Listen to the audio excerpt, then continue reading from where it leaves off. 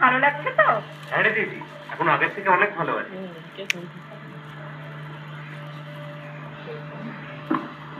তাহলে ওষুধে কাজ দিচ্ছে বল। নিশ্চয়ই এই ওষুধই তোমায় কাজ দেয়। সেটা তোর বউকে একটু বলে দিস। তার তো আমাকে সহ্যই হয় না। ও বাবা বেড়ালের মতো পায়ে পায়ে এসে হাজির হয়েছ? তো এই ঘরে কেন? একটা কথা বলতে এলাম। আজকে একটু বাপের বাড়ি যাব। রাতে ওখানে লক্ষ্মী পুজো। আমাকেই সব সামলাতে হবে। তাই আজ ফিরতে পারব না। সে তো জানাই আছে। তোমার যত লক্ষ্মী পুজো লক্ষ্মীগিরি ওই বাপের বাড়ির জন্য। নইলে কি আর বাড়ির পাও অলক্ষীর মতো এই পুজো আচ্ছা দিন বাড়ি ছেড়ে চলে যায়? সেই এই কথাটা যদি তুমি একটু বুঝতে দিবি তাহলে তো এত চিন্তাই থাকতো না। করো না। তুই চুপ কর শোনো।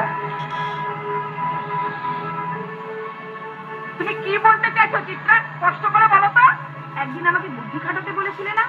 আজকে নিজের বুদ্ধিতে কুলাচ্ছে না? নাকি সবটা আমাকেই বলে দিতে হবে? চিত্রা চুপ করো না তুমি।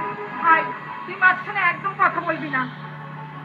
আমি এখানে আসি বলে তোমার খুব অসুবিধা হয় তাই না? এই বাড়িটাকে নরক করে তুলতে পারছ না। আমি অন্তত বাড়ি স্বর্গ করতে গিয়ে মানুষের জীবন নরক করে তুলি না। কি বললে তুমি?